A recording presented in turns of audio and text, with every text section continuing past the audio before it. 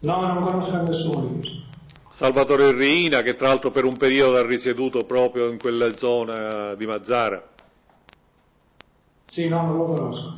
Non ha avuto mai nessun, nessun contatto No, Presidente. con questi soggetti. E quindi quegli altri, oltre ai sinacori di cui lei stava parlando, chi sono gli altri soggetti che lei intendeva? Eh, sono soltanto i collaboratori? Perché lei ci ha indicato, guarda caso, soltanto due collaboratori, Geraci e Sinacori. Sì, sicuramente ce ne sono altri, però al momento non perché non è che so, cioè so io ho conosciuto nella mia vita migliaia e migliaia di persone. Si figuri ora, se, se, se poi faccio una riflessione pensando, ma al momento non mi vengono in mente altri. No, Lei, lei- lei sa che è perché stato, una- che è stato, a proposito di- quindi della conoscenza, lei è stato indicato tra i soggetti che per esempio nel marzo del, del 92 andò a Roma eh, per dei sopralluoghi, per possibili attentati. Di questo lei sa niente? Lei è stato Allora, io effettivamente... a Roma ci andavo sempre. Eh, Io a Roma ci andavo spesso, anche una volta a settimana, due volte a settimana, perché c'avevo anche una mia parte di vita là. anche Ma da latitante? Anche da latitante o soltanto no, parlo nel- da libero, parlo, per- da libero però. da libero? E quindi nel periodo 92 sì. Sì, fino a quando ero libero Roma ci andavo e salivo comunque. E in queste C'avevo occasioni una barca. è andato mai al teatro Pairo- ai Paireoli? No, no, non mi interessavano queste cose, stavo dicendo una cosa che non sapete. Io avevo pure una barca a Ostia, che non è stata mai individuata, che poi io ho alienato, dopo che mi è successo tutto questo, e quindi ci andavo anche per questo, perché la barca non era intestata a me. Io me ne andavo in auto e poi ritornavo in auto. Quindi con questa Quindi la- si figuri se non conosco Roma o, o non frequentasse Roma. Se poi ci aggiungono che io, mm, nelle mie frequentazioni romane, seguivo pure persone, questo lo dichiaro che è un falso. Quindi, Non questo- sono veduto ovviamente, ma io dico la mia verità. quindi con questi soggetti che- di cui abbiamo parlato, come indicati come appartenenti all'associazione mafiosa, lei non è mai, non, eh, in nessuna di queste occasioni si è trovata a Roma o in altre zone del, del nord Italia o comunque del continente? Per esempio in Versilia, No, in Piemonte, dove è No, stata segnalata la sua presenza? A Firenze lei c'è stato questo- in quel periodo? No, no, completamente. E, as- mi ascolti, Prego. No, con queste persone io non sono mai stato da nessuna parte, anche perché ho detto che non le conosco. E per quanto riguarda la sua domanda precedente, se io conoscevo altre persone, certo, eh, per esempio Giuseppe Clemente che si è ucciso in carcere a Torino, Giuseppe? era un amico mio. Clemente si è Ah, suicidato Giuseppe. in carcere. E poi? Come? Sì, sì, la- l'ascolto. Quindi questo è un altro soggetto che conosci- che conoscevo. Leonardo Ciaccio, E, eh, all'ergastolo per... e i, fra- i fratelli, e i fratelli Brusca? No, completamente, non conosco questa oggi. che tra l'altro in un certo periodo sono state anche loro nella provincia di Agrigento, quindi non lontano dalle zone di sua abituale frequentazione. Sì. Presidente, ma io non è che posso vietare alle persone di andare a No, destra. no, io non le dico, no, la mia domanda era finalizzata a capire se c'erano stati rapporti, incontri o altro. No, non conosco. no. Il signor Brusca, il Giovanni, mi accusa di tante cose. E infatti io cercavo, ho sempre cercato una, un dialogo con qualcuno dello Stato, nel senso come lo stiamo facendo da noi, non faccio cose segrete. Sì. Che per poter chiarire la mia posizione in questo, in questo frangente dei discorsi, perché è una cosa che mi dà fastidio, immensamente fastidio, accusatemi di tutto, però io non ho mai avuto l'occasione di difendermi su quello che dice il Brusca di me. E questo mi ha... E che significa? Mi spieghi un po' meglio. Lei dice ho cercato qualcuno dello Stato per poter dire queste cose. Come l'ha cercato? A chi si è rivolto? No, no. Che tentativo no, ha fatto? No. Presidente, mi scusi, mi sono espresso male. Eh, e allora ce lo preciso. Quando ho detto cercavo qualcuno con cui io potevo discutere questo fatto, intendevo quando mi, mi sarei stato catturato, come poi è successo.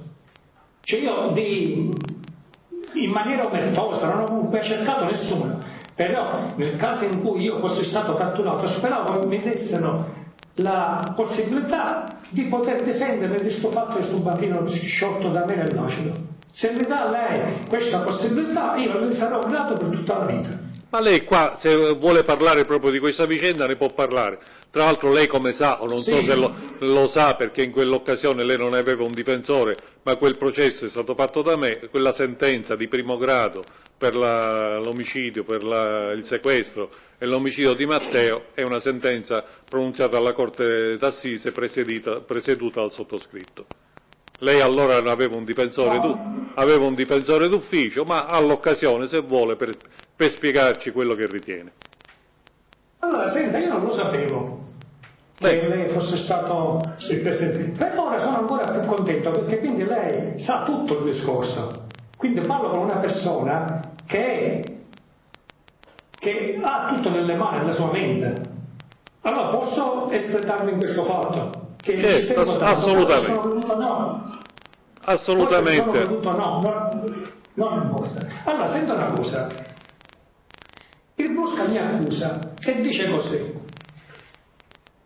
che annunciato non so in quale data e non so in quale posto ha detto, ma non era Palermo comunque, era un paese del 19, dice che mi si è incontrato lui, io, e Graviano Giuseppe e Banerella.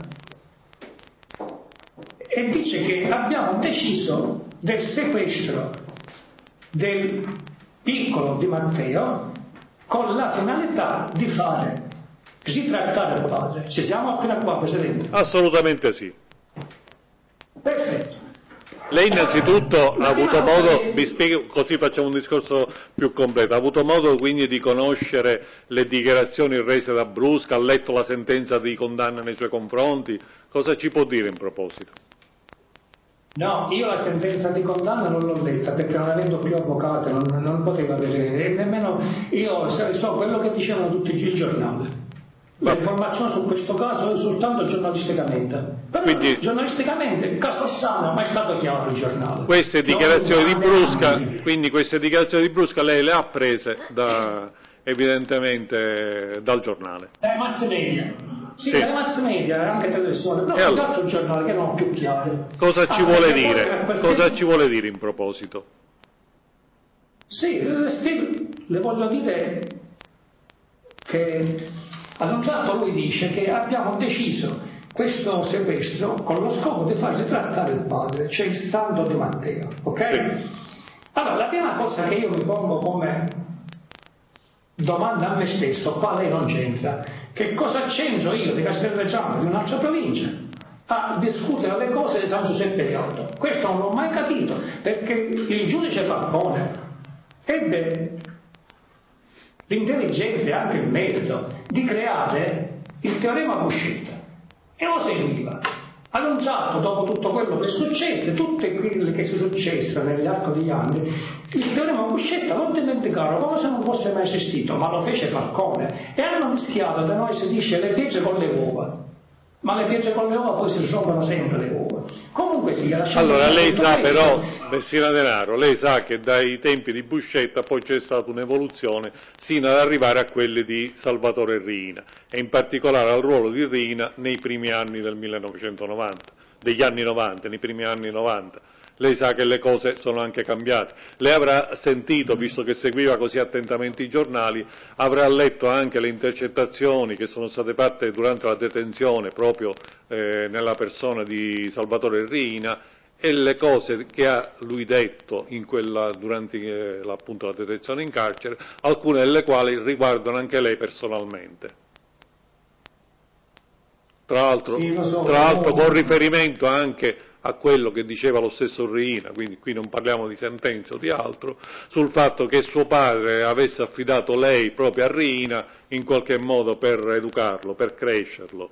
Così almeno dice Reina parlando col, col detenuto con cui si trovava in carcere. Conosce queste Presidente. Prego. Sì, le conosco sempre giornalisticamente. Ascolta, signor Presidente. Mio padre si chiamava Francesco Messina Denaro e ho avuto solo un voce. Mi sarei schifato di lui se mi avesse affidato a qualche altro. A me mi ha cresciuto mio padre e mia madre, ne sono orgoglioso. Arcipaggi io non ne ho avuto. Ora, si torna al discorso del, del, del Brusca. Brusca dice questo. Comunque, lasciamo stare il fatto che io, per le regole, non, non, dove, non dovrei c'entrare niente le cose al cercato, no, mettiamo da lato, non importa. No, le regole c'entrano perché lei viene, lei viene accusato di aver avuto un ruolo direttivo proprio in quel periodo con riferimento proprio al territorio di Trapani, della provincia di Trapani, perché tutto nasce da lì, quindi non è che era casuale. Quel ruolo che precedentemente era attribuito a altri soggetti, e a iniziare da suo padre, poi a un certo punto, secondo le acquisizioni che sono state fatte sulla base anche delle dichiarazioni di più collaboratori, non soltanto di Brusca, lei a un certo punto sarebbe subentrata in quel ruolo eh, di vertice, quantomeno dell'associazione mafiosa eh, operante nel territorio di Trapani che è stata sempre molto legata a quella palermitana per una serie di vicende che ora qui non dobbiamo entrare anche perché stiamo andando molto oltre il tema del, dell'odierno interrogatorio. Però l'ascolto su questo, prego, mi dica pure. Sì, a me interessa, questa è la mia prima possibilità di chiarire su questo fatto di questo bambino. E io sono contento, poi, poi, deve... proceda. Oh, poi, poi, se tutto deve finire nella mia vita mi sta bene, però questo fatto del bambino lo voglio chiarire, anche perché io sono quel padre. Allora, che cosa succede? Che lui mi accusa della decisione assieme a Graviano, a lui, a Bagarella, di sequestrare questo bambino per fare il bacio. Mettiamo di lato quello che ho detto poco fa, che non c'entravo in quelle zone, comunque per quello che diceva lui. Comunque, il... si sequestra questo bambino, lo dice lui, e io nel sequestro non ci sono, nel senso io non sono uscito da casa e ho sequestrato questo bambino, nella maniera più assoluta, lo dice pure lui si sequestra questo bambino e se lo prende lui, lo gestisce lui. Poi lui, in quanto alla provincia di Trapani, ci trovò due cove, uno verso Valdelice e uno verso Castellammare. Però se li trovò lui, però lui sicuramente dice, non so i fatti bene, che glielo trovato io. Ma va bene così, mi sta pure bene così, perché io per ora sto seguendo il discorso del Brusca. Quindi io mi devo difendere su quello che dice Brusca. Che cosa succede? Che annunciato nel corso del tempo arrestano, credo, prima a Graviano e poi a Bagarella. Ci siamo presidenti? L'ascolto, prego. Oh, quindi resta lui, perché lo dice lui, ed io che sappiamo di questo bambino.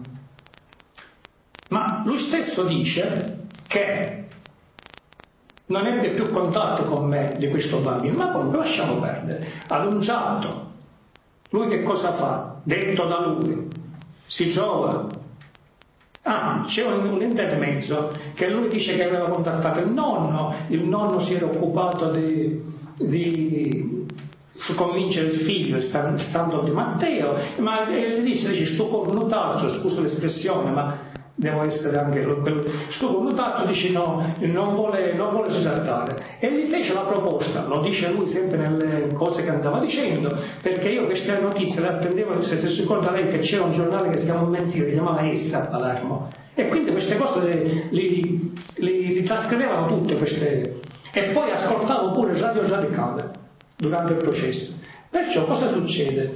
Che lui dice che... Quale processo? No, Quindi lei ha ascoltato, ascoltato, Radio Radicale proprio durante le udienze di questo processo che riguardava eh, l'uccisione del piccolo no, di Matteo? No, e quale? E quale processo stava facendo?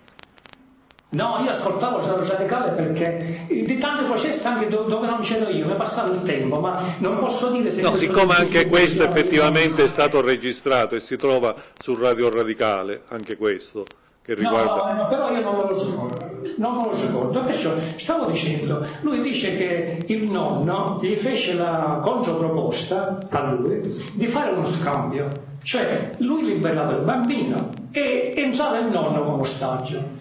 Lui dice che rifiutò questo discorso. Comunque sia, le cose andavano avanti, ad un certo lui si trova in un posto, in una casa, e, e, guarda il telegiornale, quindi ovviamente sarà stato di pranzo, guarda il telegiornale e dice che dissero dietro la notizia che lui era stato condannato all'ergastolo per l'omicidio del, dell'esattore Ignazio Salvo.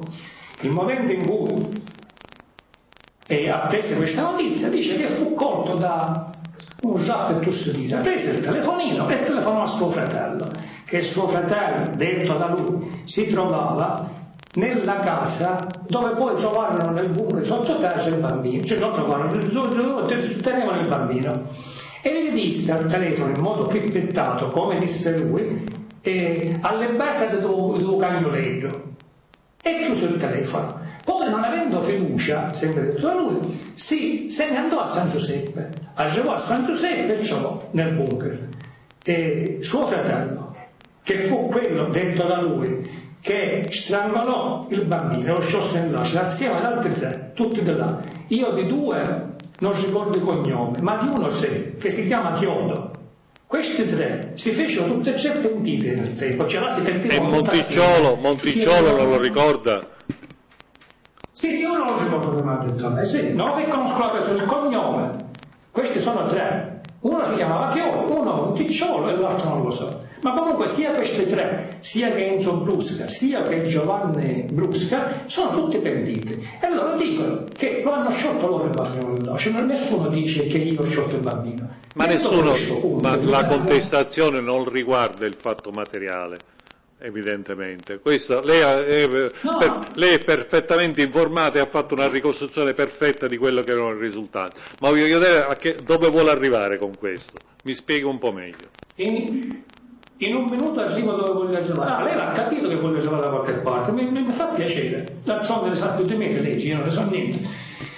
E allora lui dice no, tutto il resto sì, sono informazioni giornalistiche, notizie giornalistiche, però mi scusi, se mi accusate di qualcosa, no lei, come Stato, come istituzione, va bene, ma se vedete che c'è qualcosa che non funziona nelle informazioni dei mass media, che tutti mi presentano come quello che ha sciolto il bambino nell'acido, nessuno si prese mai a dire, a dire a questo disonesto che sarei io.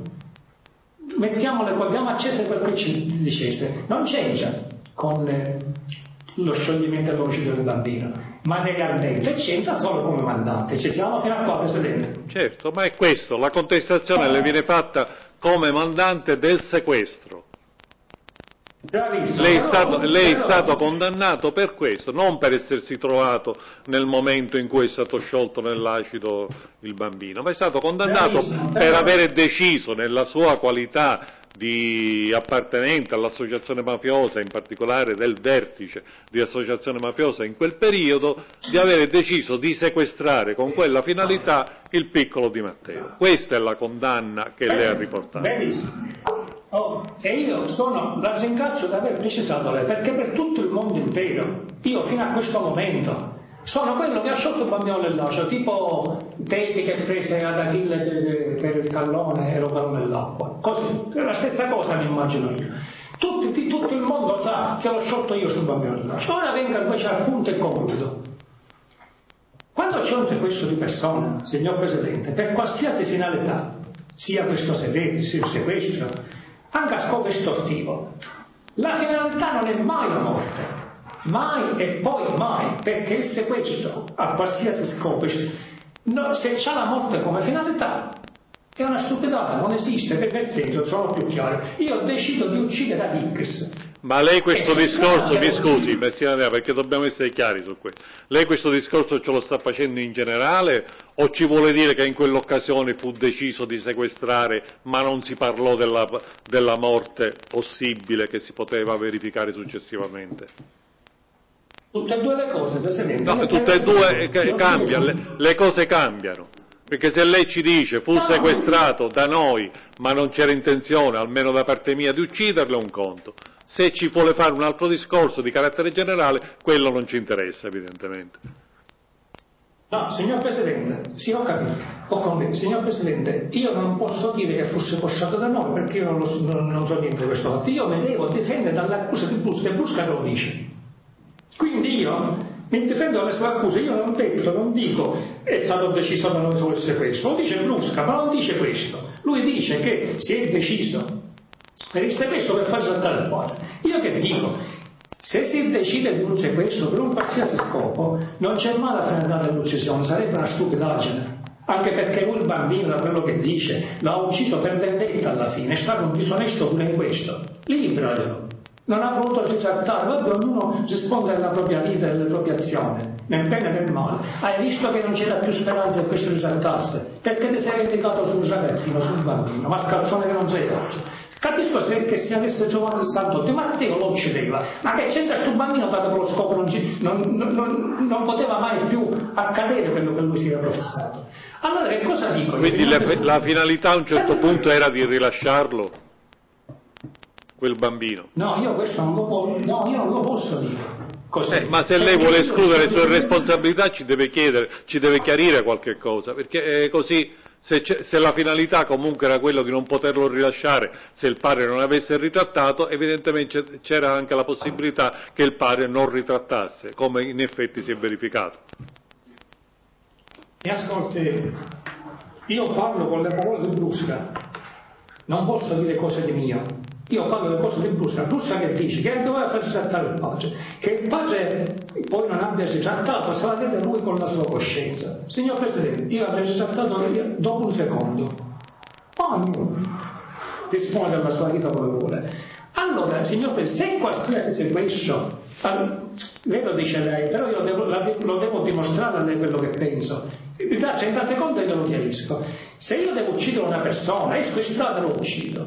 Se io devo uccidere una persona, è scrissata, me lo sequestro, non lo porto da me, poi lo uccido, sono scemo, perché vado complico tutta una, una, serie di cose, rischio di più, che senso ha, se lo devo uccidere, lo uccido. Il sequestro invece non avrà mai la finalità di, di uccisione, non del bambino, di nessuno, perché sennò non avrebbe senso. Ora quindi io dico a lei, sono contento che il processo l'ha fatto lei, ma l'ho saputo ora, che qualora tutto fosse andato, per come dice Brusca, Signor Presidente, io devo essere condannato per un sequestro di persona, non per un omicidio.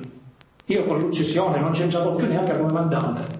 Io c'entravo semmai nel sequestro, perché lui dice che in quell'occasione si decise il sequestro. Io invece sono stato condannato per l'omicidio, io ho preso l'ergastolo, penso che il sequestro dovrebbe essere cent'anni, non lo so. Io questo te lo volevo chiarire. Perché a me non, non, mi, non, cioè, non mi condannavate per, per il reato che lui diceva, credendo lui? Perché c'è un'altra cosa, lui non è che dice, mentre si ascoltò la notizia dell'esattore Ignazio Salvo, andai a cercare il Messina Denaro e dire per esempio, ma cosa facciamo ora? No, lui dice che telefona a suo fratello, se è una domanda che mi pongo io, ecco perché non voglio fin dall'inizio. Se ci fosse stato libero Bagatelle e Graviano, lui l'avrebbe fatto ciò. La risposta è no, perché non lo poteva fare perché quello della loro insomma doveva dare soddisfazione a quello, invece a me non doveva dare nessuna soddisfazione per come raccontato, perché io faccio parte di un'altra, di un'altra provincia addirittura. Ho chiuso il mio Presidente, quindi io volevo chiarire che con l'esecuzione del bambino sciolto nell'acido non un totale. E per quanto riguarda come mandante, Dico pure che io devo andare come mandante, credendo sempre alla brusca, al 100% come sequestro di persone, non come omicidio. Però lei sa che evidentemente, anche perché lei si sta concentrando particolarmente su questo bambino, ma in realtà non è l'unico eh, che le viene addebitato come vittima, anzi ce ne sono addirittura anche più piccoli che non sempre la decisione del mandante può prevedere che cosa avviene, però può rispondere anche di quello che succede. Mi riferisco di quello che è avvenuto a Firenze, dove è morta addirittura una, una bambina di pochi mesi. Lei sa, e anche per questo fatto lei è stato condannato. Lei si preoccupa del Di Matteo, ma non si preoccupa per esempio di quello che è successo a Firenze, fatto per il quale lei è stato condannato e in cui sono morti anche lì dei bambini. Tra cui una proprio di pochissimi mesi, come lei saprà, visto che è stato così attento a seguire tutti, tutti, i processi durante la latitanza, saprà che le viene addebitato anche la strage di Firenze in cui sono morti dei bambini. Sì, però sono un'altra cosa pure. Forse cioè, perché non le parlano, non la stampa parla soltanto di Di Matteo, non parla di quello come sua responsabilità, no, ma lei ha avuto questa condanna. No, però, signor Presidente, c'è anche un'altra cosa che devo dire, parlando di Firenze. A prescindere che tengo in chiaro che io non so niente di Firenze. Poi quello che dicono collaboratori di legge la vedono loro, io non so niente. Anche perché non c'è mai stata in una mia condanna, mai, nessun riscontro oggettivo ci sono solo state le parole di questi collaboratori, ma riscontri oggettivi non ce ne sono. Comunque volevo dire, sono due cose prettamente diverse secondo me, Presidente, perché quello del bambino fu un fatto mirato, che c'è quello di Firenze, qualora fosse vero, ma sulla mia persona è vero, non è che si volevano uccidere le persone, anche perché ci sono collaboratori di legge che dicono che la finalità non era, non era uccidere le persone, solo che il problema è stato, secondo me, che sono andati con la ruspa. Cioè hanno ucciso la mosca con, con, cannonate, perché si sa che se si mettono bombe possono cadere degli innocenti. Ma la finalità, come dicono gli altri, alcune, non era uccidere le persone, era presa con lo Stato. Eh, ma è un po' contraddittorio perché lei dice si sa se che se si mettono le bombe, le bombe si può uccidere anche degli innocenti, quindi se si sa non capisco che cosa vuole dire dopo. Che significa che se lei decide di mettere una bomba eh, deve rispondere anche se poi quella bomba eh, provoca la morte di qualcuno.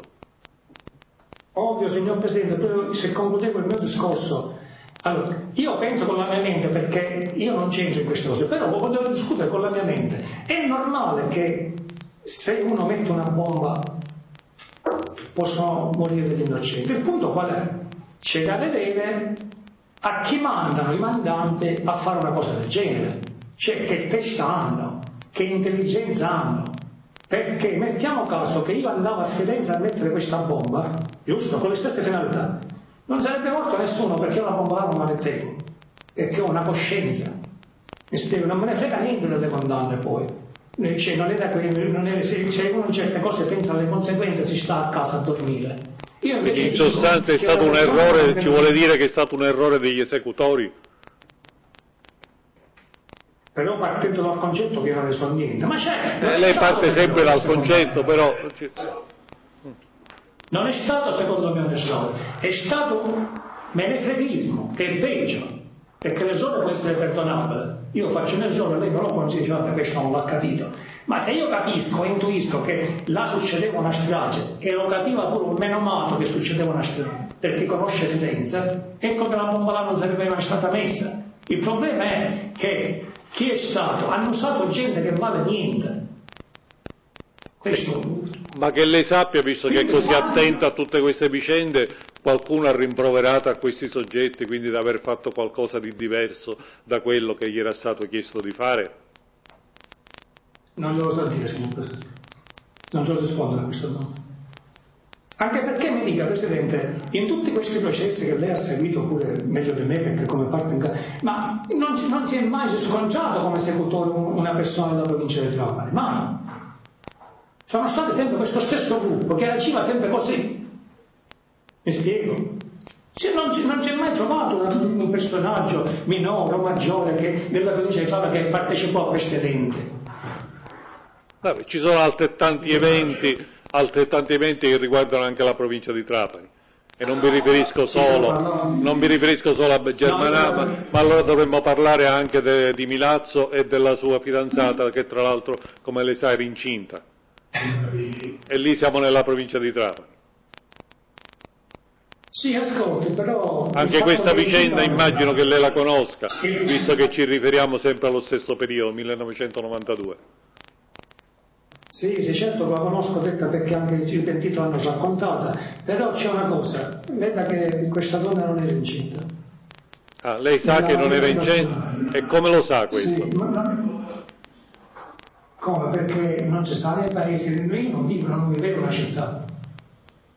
Io non vivevo, vivevo in paese, quindi il momento in cui succedono tutte queste dichiarazioni a Vanvera, naturalmente io ho cercato questo per capire, ma e mi è stato detto la ragazza non era incinta, e lo dice anche la famiglia che non era incinta, ma siccome si vogliono aggravare sempre le situazioni va bene così. Quindi lei si è informato, Allora, eh, eh, lei si è informato sì. specificamente di questi episodi e perché? Qual era il suo interesse a informarsi di questi episodi?